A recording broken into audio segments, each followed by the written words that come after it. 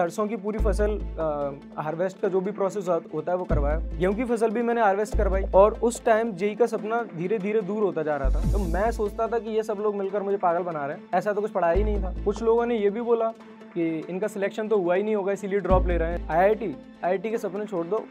वो और लोगों के लिए बनी होती है, आपके लिए नहीं बनी ऐसी किस बात की पढ़ाई जिससे घर की बदनामी होगी, ऑटो चला रहे हो?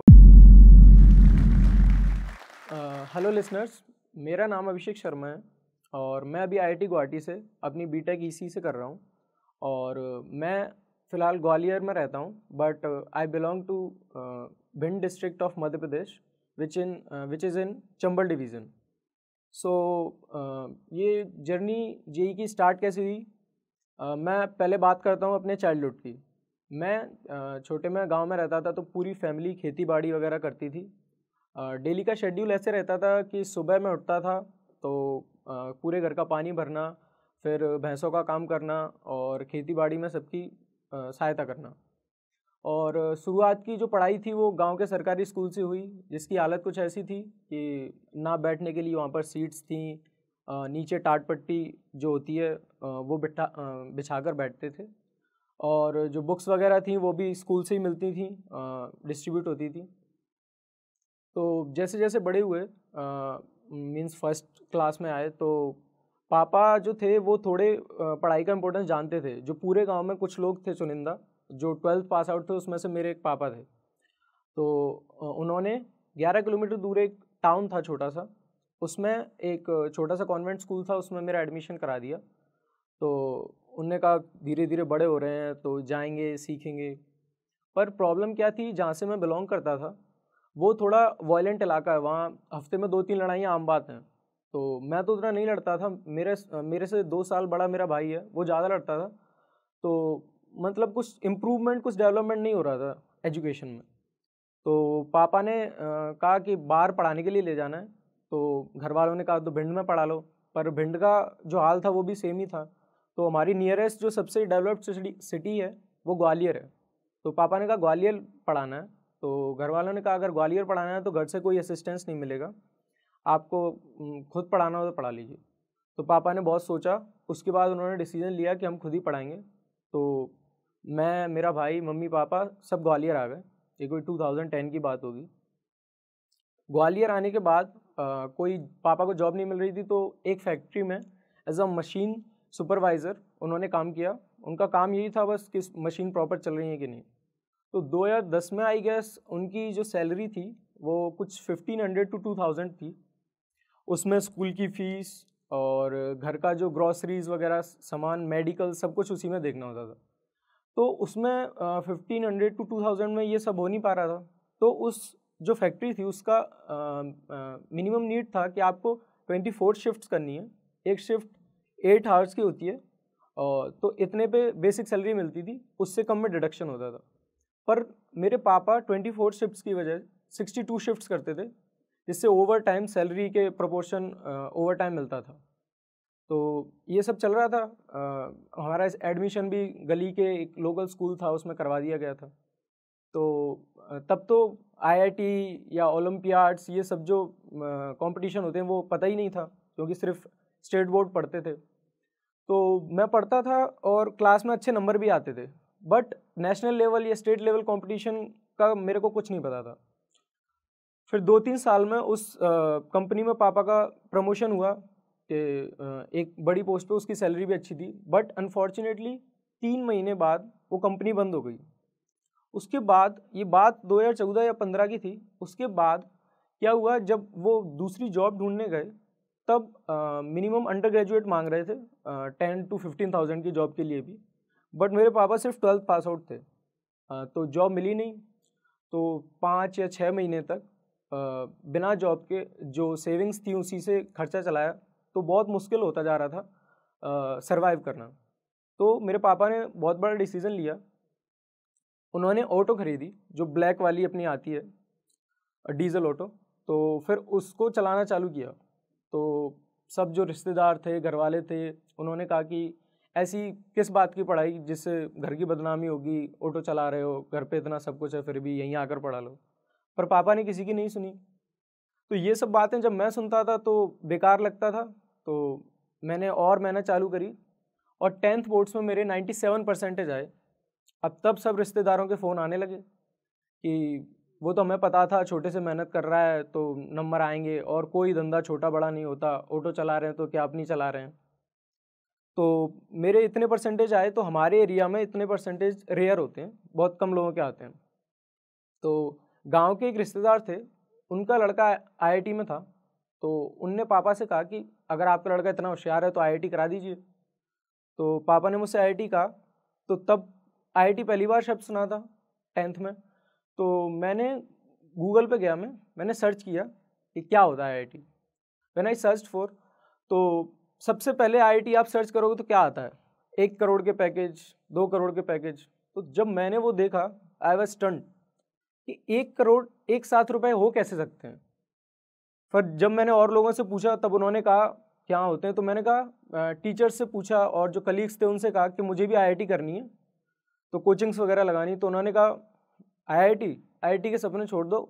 वो और लोगों के लिए बनी होती है, आपके लिए नहीं बनी है। तो मेरे दिल में और लगी कि और लोग वो कहाँ से बन कर आते हैं। तो मैंने और छाना भी नहीं करी। तो मेरे मैथ्स के टीचर थे नागन सर। वो बहुत अच्छे टीचर थे। सब स्टूडेंट्स की हेल्प करते थे। उन्होंने कहा कि हमें बिलीव है। तुम आई की कोचिंग लगाओ। अब मैं और मेरे पापा गए काउंसलर्स के पास। तो जो बड़े बड़े इंस्टीट्यूट्स हैं, नेशनल लेवल इंस्टीट्यूट्स हैं, उनके पास गए। तो उनकी फ़ीस बहुत हाई थी, जो हम अफोर्ड नहीं कर सकते थे और कोटा भेजने का तो सवाल ही नहीं उठता था। तो ग्वालियर में एक छोटा सा कोचिंग अब है, वहाँ पे पापा ने इंडिविजुअल पीसीएम की कोचिंग्स लगवा दी। तो शुरुआत में बहुत ज़्यादा इंतज़ियाज़म था कि आईआईटी करेंगे तो गए, पढ़ने लगे, पर वहाँ आते थे सारे पौश इलाके के जो बच्चे थे, जो G D Goenka D वगैरह में पढ़ रहे हैं तो वो जो भी बातें करते थे पढ़ाई के बारे में वो सब आउट ऑफ़ कॉन्टेक्स्ट लगती थी। वो कहते थे, ये एट्थ में पढ़ाया है नाइन्थ में पढ़ाया है। तो मैं सोचता था कि ये सब लोग मिलकर मुझे पागल बना रहे हैं। ऐसा तो कुछ पढ़ाया ही नहीं था। पर जैसे धीरे धीरे मैंने टीचर्स के कांटेक्ट में आया, उनसे बुक्स लेना चालू करी, पढ़ाई करी तो धीरे धीरे सब समझ में आने लगा। बट प्रॉब्लम ये होती है, मैं अब इंडिविजुअल कोचिंग्स जो भी करते हैं, उनके बारे में बोलने वाला हूँ। कि जब इंडिविजुअल कोचिंग्स में बच्चा जाता है, जब जेई या नीट जैसे बड़े एग्ज़ाम की तैयारी करता है तो प्रॉब्लम ये होती है, वो डिस्कस भी सिर्फ़ कोचिंग के स्टूडेंट्स के साथ करता है और डिस्कस भी सिर्फ़ कोचिंग के टेस्ट के बारे में करता है। But the exam you are preparing for वो नेशनल लेवल एग्ज़ाम्स हैं। जब तक आप नेशनल लेवल टेस्ट नहीं डिस्कस करेंगे, तब तक आप इवॉल्व नहीं कर पाएँगे। तो क्या हुआ? मेरी टेस्ट में रैंकिंग आती थी कोचिंग्स में second third first but problem ये थी, जब मैंने इलेवेंथ के एंड में जेई मेंस के पेपर लगाए। तब मेरे नंबर बहुत कम आए। तब मुझे पता पड़ा कि इस कोचिंग इन कोचिंग्स की पढ़ाई से कुछ तो कुछ नहीं हो सकता है। तो मैंने और मेरा एक दोस्त था, उन्होंने सोचा कि एलेवेंथ के एंड में मीन्स ट्वेल्थ के स्टार्ट होने से पहले अपन सारा सिलेबस ख़त्म कर लेंगे, सारे पी वाई क्यूज़ लगा लेंगे। तो हमने एलेवेंथ के बाद चालू किया। हार्डली टू वीक हुए होंगे। तब आया national festival of China Covid nineteen. तो उसके बाद जैसे जैसे केसेस बढ़ने लगे, ग्वालियर में भी डेथ रेट्स बढ़ने लगी तो पापा ने कहा कि अब यहाँ रहना सही नहीं है, एक दो महीने के लिए गाँव चलते हैं, उसके बाद आ जाएँगे जब, जैसे ही कम हो जाएगा कोरोना तो हम लोग गए तो एक महीना चला, दो महीना चला तो जब इलेवेंथ के एंड में जब हम गए थे, वो टाइम होता है गाँव में सरसों की फ़सल का तो क्या होता है, सरसों की फ़सल खड़ी थी तो कोरोना कम नहीं हो रहा था तो पापा ने कहा कि अपन को ये फ़सल हार्वेस्ट करनी पड़ेगी। तो मैंने तीन महीने वहाँ पर गुजारे। सरसों की पूरी फ़सल हार्वेस्ट का जो भी प्रोसेस होता है वो करवाया। तब भी कोरोना कम नहीं हुआ था। उसके बाद नंबर आता है गेहूँ का। गेहूँ की फ़सल भी मैंने हार्वेस्ट करवाई। तब तक ट्वेल्थ चालू हो चुकी थी और क्योंकि कोरोना कम नहीं हो रहा था तो सारे कोचिंग्स वालों ने ऑनलाइन चालू करवा दिया था। अब मैं खेत में बैठ, बैठा होता था। उस टाइम वो कहते थे कि क्लास ऐसे नहीं देखनी है। घर पे, कमरे के अंदर, टेबल पे बैठ के आपको नोट्स बनाने हैं। अब मैं वहाँ बैठ के हंसता था, उसके बाद क्लास बंद कर देता था। तो जैसे ट्वेल्थ के तीन चार महीने गुजर चुके थे तब मैं ग्वालियर पहुँचा, हार्डली कैसे भी करके कोरोना के अंदर। उसके बाद जेई मेरे से सिर्फ़ पाँच महीने दूर था। और उस टाइम जेई का सपना धीरे धीरे दूर होता जा रहा था मेरे से, क्योंकि एलेवंथ थी, उसका थोड़ा सा भी रिवीजन नहीं था और ट्वेल्थ तो तीन चार महीने गुजर ही चुकी थी। पर उस टाइम मैंने सोचा कि वाई डिड आई स्टार्ट मैंने ये सब स्टार्ट क्यों किया था? गाँव तो मैं पहले भी रह रहा था, अब भी गाँव में फ़सल ही काट रहा हूँ। उसके बाद उस दिन से जेई मेंस तक मैं पाँच घंटे से ज़्यादा कभी नहीं सोया था। कितनी भी गर्मी हो, कितनी भी ठंड हो। और जेई मेंस के पहले अटैम्प्ट में मैंने सेल्फ स्टडी से 99 परसेंटाइल एक्वायर की। तो वो एक थोड़ा सा सेटिस्फाइंग मोमेंट था। तो उस वजह से जेई एडवांस के लिए प्रिपेयर करने के लिए और एनर्जी आई। बट फ़र्स्ट टाइम मैंने जेई एडवांस दिया तो मेरी तैयारी जेई एडवांस के लायक नहीं थी। बट मेरी eight thousand two hundred rank आई पहले अटैम्प्ट जेई एडवांस में। उस टाइम सब खुश थे कि आईआईटी में हो गया। बहुत बड़ी बात होती है द प्रेस्टिजियस आईआईटी सब रिश्तेदारों के फ़ोन आए, सब लोग कहने लगे कि आईआईटी में हो गया, अब तो लाइफ सेट है। बट प्रॉब्लम थी कि मेरा सेटिस्फेक्शन उस टाइम ज़ीरो था। क्योंकि जब मैं पाँच महीने देकर ये अचीवमेंट हासिल कर सकता हूँ तो जब मैं अपना टाइम लूँगा तो और कर सकता हूँ। तो जब रिज़ल्ट के एक हफ़्ते बाद मेरे पापा ने मेरे से पूछा कि कौन सा आईटी लेने का सोचा है? तो मैं पाँच सेकंड का पॉज लिया, उसके बाद हिम्मत करके मैंने बोला कि पापा मैं ड्रॉप ले रहा हूँ। तो सब चौक गए। मम्मी, भैया, पापा की ड्रॉप आईआईटी में हो गया, फिर भी ड्रॉप ले रहे हो। पर मैंने नहीं मानी, मैंने कहा मैं तो ड्रॉप लूँगा। आपको कोचिंग्स लगानी है तो लगाओ, वरना मैं सेल्फ स्टडी से कर लूँगा। तो सारे जो रिश्तेदार थे, उन्होंने कहा कि एक बार आ गई है तो ये समझ रहे हैं अगली बार भी आ जाएगी। इस बार तो तुक्के में आ गई, अगली बार और कमाए तो। तो बहुत लोगों ने डाउन भी किया मोरल कुछ लोगों ने ये भी बोला कि इनका सिलेक्शन तो हुआ ही नहीं होगा, इसीलिए ड्रॉप ले रहे हैं, झूठ बोल रहे हैं कि इनकी इतनी रैंक आई है और सिलेक्शन हुआ है। बट मैंने किसी की नहीं सुनी। कुछ लोगों ने ये भी कहा था कि इस बार तैयारी इस बार कॉलेज ले लो और अगली साल अच्छी आ जाए तो ड्रॉप कर देना। बट आई नो कि छः महीने बचे थे क्योंकि कोरोना की वजह से ये वाला जी एडवांस आगे हो गया था। सिर्फ़ छः महीने बचे थे अगले एडवांस में। अगर मैं कॉलेज लेके करता तो वो प्रिपरेशन नहीं होती। तो मैंने ईयर ड्रॉप करने का सोचा। तो उसके बाद मैंने लाइब्रेरी ज्वाइन करी। एक महीने लाइब्रेरी पढ़ा। पर लाइब्रेरी में एक छोटा सा केबिन मिलता है so you are stuck in it तो उसमें फ्रस्ट्रेशन होती है। तो मैंने एक महीने पढ़ा था। उसके बाद मैंने और मेरे दोस्त ने, मेरे एक फिजिक्स टीचर थे, उनसे बात करी। तो उनका एक इंस्टीट्यूट था। उसमें सबसे ऊपर एक रूम खाली था। तो मैंने वहाँ पे शिफ्ट कर लिया। और मैंने पापा से पहले बात करी थी कि कोचिंग्स वगैरह लगाने की। बट उतना अफोर्ड नहीं हो सकता था क्योंकि ड्रॉप ईयर में छः महीने के लिए मैं दो लाख रुपए खर्च नहीं कर सकता था। उसके बाद मैंने विदाउट कोचिंग सिर्फ़ सेल्फ स्टडी से यूट्यूब से वीडियोस आउटसोर्स जो वीडियोस डले होते हैं कोचिंग्स के रिकॉर्डेड वो शीट्स उनसे जे एडवांस की तैयारी करी। और बीच बीच में, मैं ड्रॉप ईयर वालों के लिए कह रहा हूँ बीच बीच में आपको बहुत बार ऐसा लगेगा कि विदाउट गाइडेंस अपन पढ़ रहे हैं तो ये जो अपन पढ़ रहे हैं इज़ इट राइट ये एग्ज़ाम में आएगा भी कि नहीं? तो आप इसका एक सॉल्यूशन है कि आप जो भी एलएन या जो बड़ी बड़ी कोचिंग्स होती हैं, उनके आप मोक टेस्ट लगा के देखिए। अगर उसमें आपका स्कोर हो रहा है और जो जा रहे हैं उनसे पूछिए उनका कितना स्कोर हो रहा है, उससे आप जज कर सकते हैं। और जो भी मुझे डाउट्स वगैरह होते थे, वो भी मैं अपने लेवल पे सॉल्व करता था, उससे कॉन्सेप्ट बहुत ज़्यादा क्लियर हो जाता था। तो जब जेई मेंस दिया तो first time 99.65 percent I and I was so happy उसके बाद मैंने जेई एडवांस की तैयारी करी only through YouTube and the sheets which are uploaded on the browser so it was a day before the JEE advance मैं रात को खाना खा के बैठा था। तो सारी बातें जो ड्रॉप ईयर के पहले जिन लोगों ने जब मैंने स्टार्ट किया था ईयर तब बोली थी वो सब दिमाग में चल रही थी कि अगली बार और कमाएगा। मीन्स मोर ओवर जो बीच ईयर के ड्रॉप ईयर के जो बीच में लोग थे, उन्होंने भी कहा कि जितना तुम बढ़ाने की कोशिश कर रहे हो उतना ही तुम नीचे गिर जाओगे। ऐसा मैंने बहुत सारे लोगों के साथ देखा है। सो so, वो सब दिमाग में चल रहा था। तो सबने कहा था कि अच्छे से नींद लेके जाना चाहिए जाइए एडवांस के पहले। बट जब ये सब बातें आपके दिमाग में चल रही हों तो आप अच्छे से नहीं सो सकते हैं। तो दो घंटे तीन घंटे यही सब दिमाग में चलता रहा। तो जब मैं सुबह एग्ज़ाम देने गया पापा के साथ तब एग्ज़ाम से पहले भी आ, मेरा टेम्परेचर थोड़ा थोड़ा हाई हो रहा था क्योंकि बहुत ज़्यादा उम्मीदें थी। पापा को भी घर वालों को भी और मुझे अपने आप को प्रूफ करना था।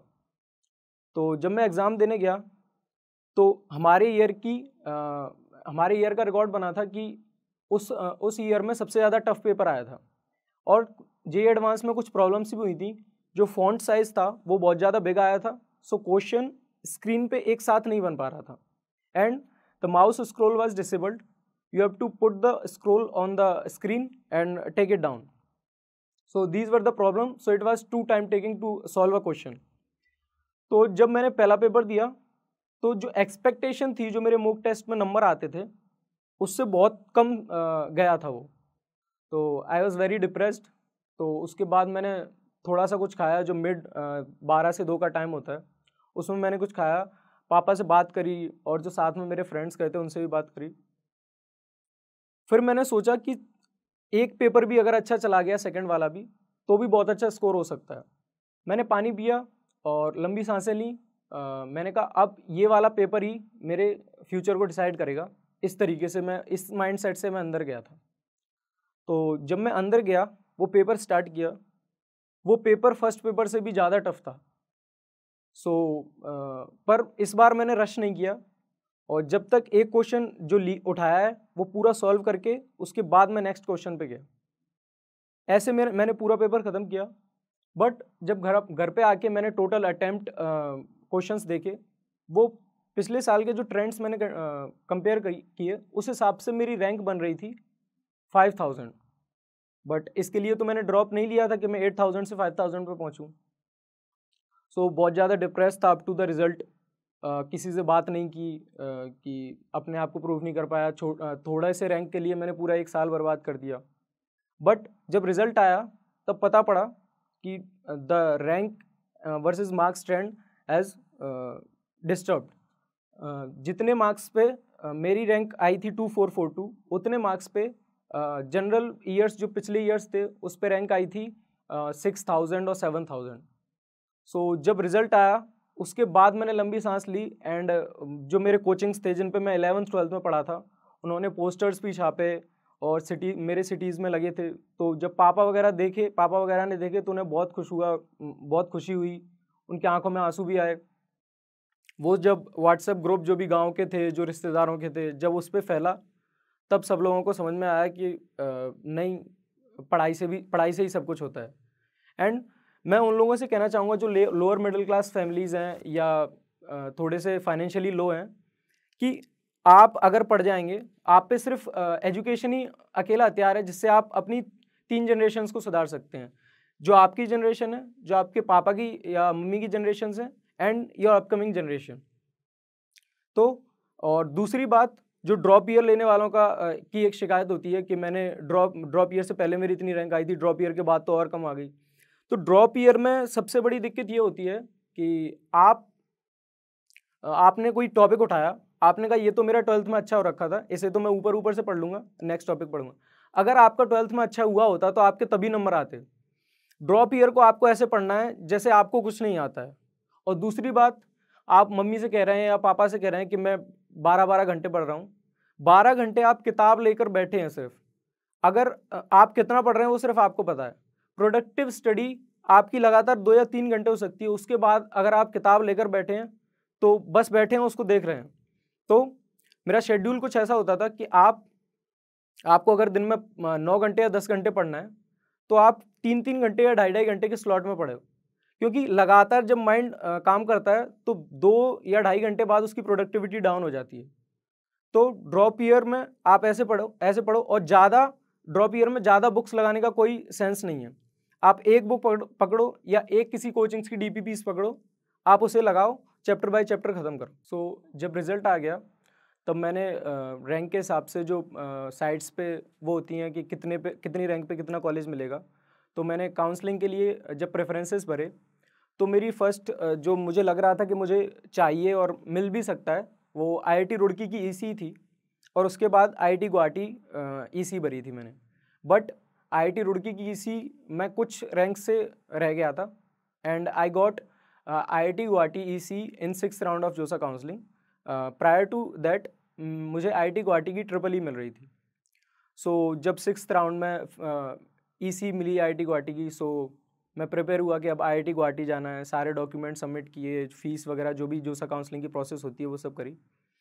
और जब मैं आई गुवाहाटी पहुँचा and I saw the front gate वो जो फीलिंग होती है, वो आप जब फील करोगे तब आपको पता पड़ेगा कि आईआईटी क्या होता है। जब मैं उसके गेट के सामने आया and I took the deep breath कि हाँ अब मैं आई आई टी हूँ फाइनली वहाँ जो बच्चे आए थे फाइव हंड्रेड रैंक वाले फोर हंड्रेड रैंक वाले ओलम्पियाड क्लियर रोडोल्फ क्लियर वो सब जो बच्चे थे, वो जो, वो जब बात करते हैं, उनके साथ जब आप बात करोगे, तब आपको पता पड़ेगा कि मीन्स आईआईटी में इवॉल्विंग कल्चर कितना होता है? आप वहाँ जाके बहुत अच्छा सीख सकते हो। कोई बच्चे दिल्ली से है, कोई बॉम्बे से है, कोई मीन्स साउथ साइड से है, कोई हरियाणा, पंजाब, पूरी इंडिया की क्रीम जो होती है, वो आपके साथ पढ़ रही होती है। तो आपको बहुत कुछ सीखने को मिलता है। मैंने कभी सोचा नहीं था कि मैं मतलब गाँव में पढ़ता था, सरकारी स्कूल में, उसके बाद मैं आईआईटी में पढ़ रहा हूँ, जो नेशनल लेवल नहीं कहूँगा मैं, पूरे वर्ल्ड में आई का मीन्स प्लेसिंग बहुत अच्छी है। इंजीनियरिंग में खासकर। तो उनके साथ जो भी कोडिंग कोडिंग वगैरह होती है प्रोग्रामिंग होती है रोबोटिक्स बहुत सारे क्लब्स भी होते हैं आई में उसमें उससे आप सीख सकते हैं। आपका पढ़ाई के अलावा जो भी इंटरेस्ट है डांसिंग सिंगिंग और अद, वो अदर्स क्लब वो अदर क्लब्स भी होते हैं। ड्यूरिंग माई जर्नी तीन साल में मैंने सबसे बड़ी चीज़ ये सीखी कि आप जो भी पढ़ रहे हैं जो भी आपके मार्क्स आ रहे हैं वो आप किसी से झूठ नहीं बोलेंगे। क्योंकि आप किसी से झूठ बोल देंगे बट आपके कितने मार्क्स आ रहे हैं कितनी आपकी प्रोग्रेस हुई है वो आपको पता है। सो so, मैं भी यही चाहूँगा कि आप अपने आप से कभी झूठ ना बोलें। जो आपकी प्रोग्रेस है वो सच सच बताएँ। So this is from my side thank you so much